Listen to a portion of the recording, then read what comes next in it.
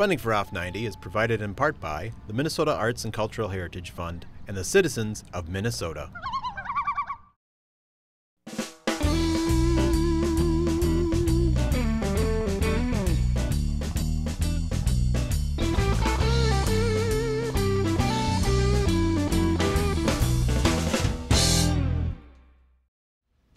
Channeling the abstract expressionist masters of the 50s, Rochester's Philip Taylor works organically, allowing his paintings to form without a preconceived plan.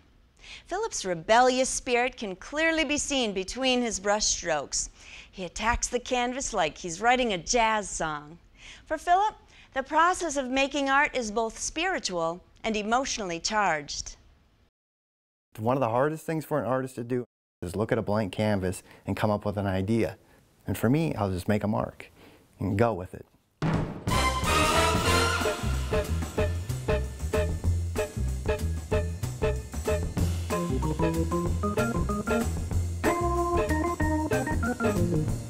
A lot of my work has a rebellious feel to it. I always say I would rather my paintings be uh, gritty, not pretty. My name is Philip Taylor, and I'm a painter.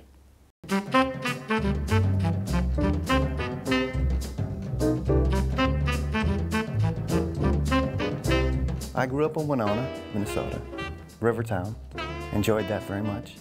Uh, went to school at Winona State and got a BA degree in studio art. Then I moved to Rochester, where I started painting.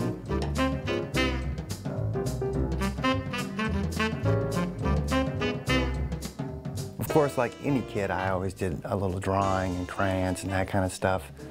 Um, it wasn't until I basically I got into high school where I started really kind of figuring out that you know I get C's in all my other classes and I get A's in my art classes. Uh, you know, it's sculpture, photography, um, those kind of classes, 3D artwork. And I just really kind of enjoyed the creative process.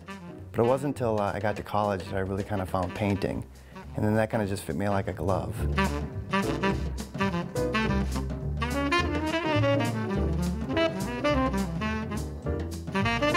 When I paint, the physical aspect of painting, when I really get into it, it's, uh, it's, it's almost like a, a, musician that's really getting into his instrument. You kind of lose track of time, you lose track of what's happening around you, you kind of merge with the painting almost.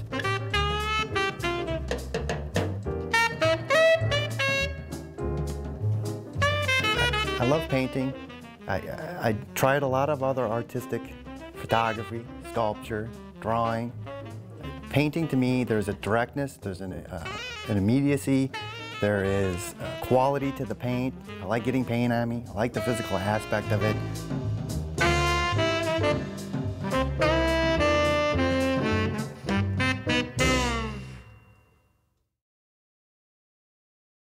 The artists that I really enjoyed were the 40s and the 50s abstract expressionist painters. There's an emotional quality to it and there's a directness to it that I just kind of, uh, it's kind of what I am about, I suppose.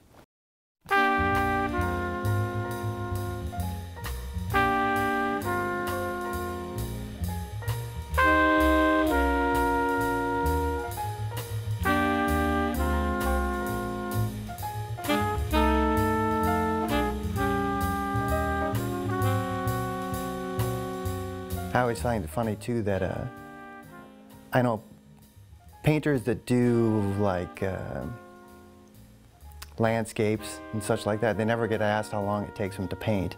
I always get asked how long it takes me to paint. And I know there's a lot of landscape painters that can whip off a landscape in about 20 minutes flat. and they never get asked, so.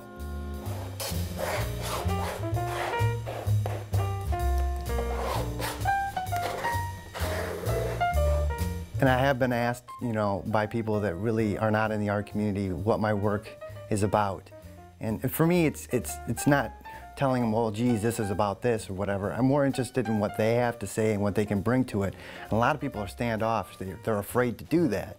I don't know if we're trained as a culture, you know, it's something we don't understand, then we don't want to have anything to do with it kind of thing almost. But uh, what I say is there's a rebellion, there's a protest, there's equality. I mean, people can look at my work and go, this is not a landscape, this is not a still life, this is not a nude, this is something different.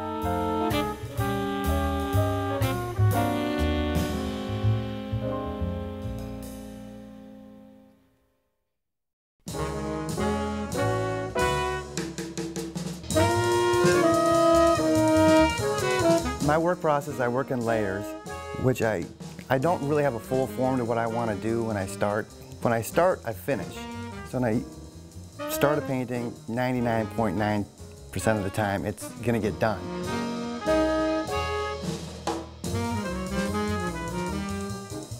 I basically have a, get an idea of the colors. Well, what I first start is I more do research. I'm not an everyday painter. I think if I painted every day, it would get tiresome and boring. It's especially important as an abstract painter to be fresh, ready to go. It's almost like a live performance, and that's how I feel about it. That's how I get the directness uh, there. Uh, so I get ideas for colors, I get ideas for shapes maybe or something, or maybe I see something else in another painter that, hey, I kind of like the technique they use. I want to incorporate that into what I do. Before I even grab a paintbrush and a canvas, I kind of have that going on in my mind process. So then I kind of get some colors going, and then I kind of get an idea of uh, maybe, not the mood I'm in, but I just kind of let, you got to make a mark on the canvas to get started. And then from there I'll build in my layers. When it's done, I'll look at it, and, and if I see something in there that speaks to me, then it'll have more of a meaning. So I like my pieces to have more of a meaning.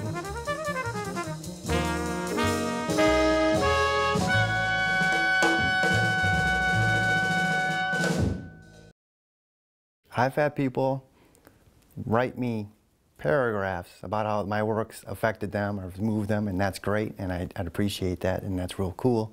And I've also had people walk by and not even look.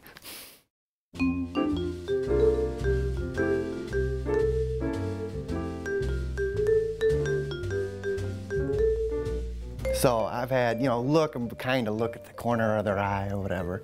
So, and you know what? I can get a kick out of that too because uh, it's affecting them. Where not everything will affect somebody. So if you get a reaction, negative or positive, at least you're getting a reaction.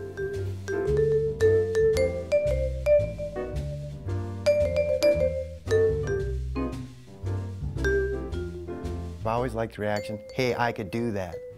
I'm thinking, well, you might be able to do that, but there's a lot more involved. It was kind of my first looking at a lot of abstract work, too.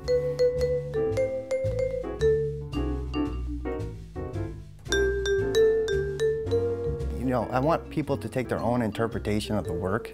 I can say for me, the work is really about rebellion. There's a little bit of protest in there. It's kind of a hodgepodge. I want gritty, not pretty. So that's qualities in the work. I'll add titles to work to maybe give a helpful hint in order, maybe I'm trying to steer somebody in a direction. But I really want people just to focus on the work itself.